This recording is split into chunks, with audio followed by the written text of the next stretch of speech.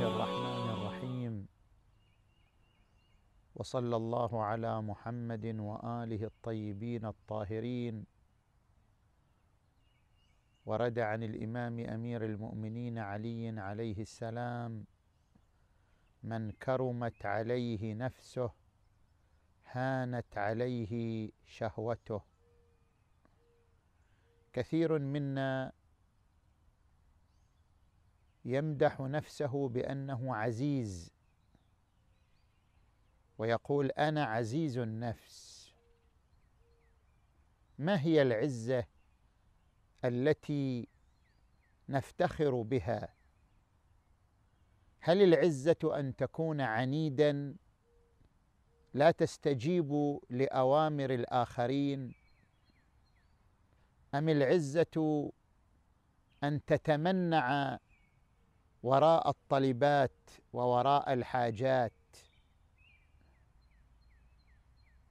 إن أمير المؤمنين عليا يرشدنا إلى أن العزة الحقيقية ليست في العناد وليست في الامتناع وليست في الصلابة والخشونة.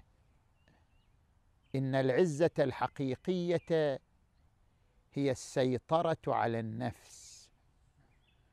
يقول القرآن الكريم ولله العزة ولرسوله وللمؤمنين العزة الحقيقية ما كانت مكتسبة من عزة الله وما كانت مستقاة من عزة رسول الله. وهذه العزة هي عبارة عن أن تسيطر على نفسك لا أن نفسك تسيطر عليك. أن تكون نفسك أسيرة لك لا أن تكون اسيرا لنفسك.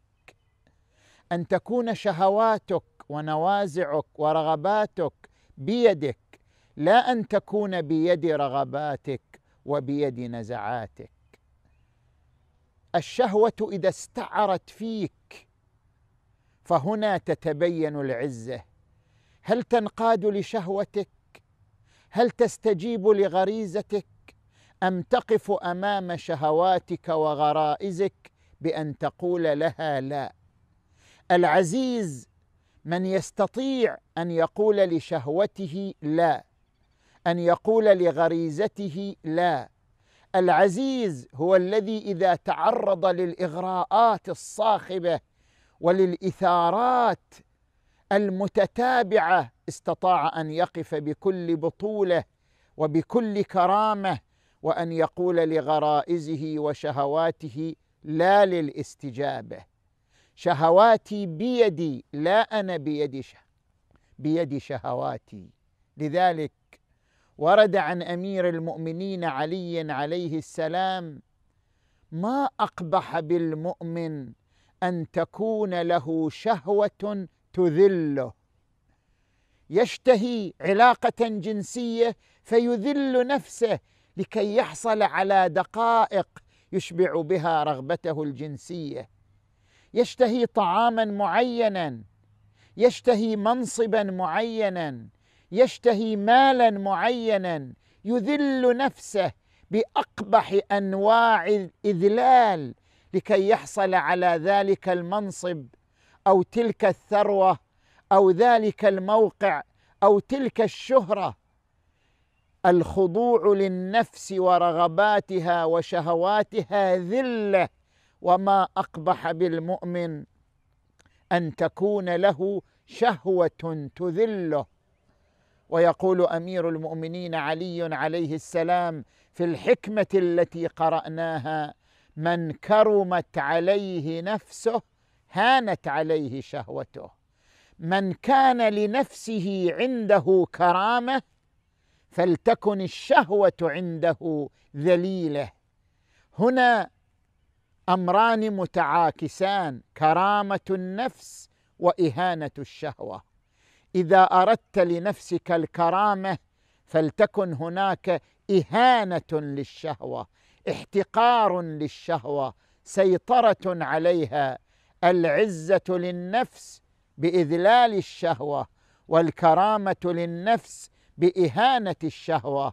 إذا استطعت أن تتحكم في طعامك إذا استطعت أن تتحكم في رغبتك الجنسية إذا استطعت أن تتحكم في ميولك ونزعاتك وغرائزك العاطفية فأنت البطل الحقيقي وأنت العزيز الذي اكتسبت عزة من عزة الله واستقيت عزة من عزة رسول الله.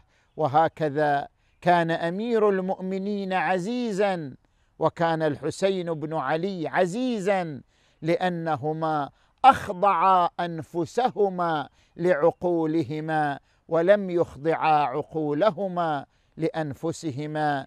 نسأل الله لنا ولكم العزة وللمؤمنين جميعا.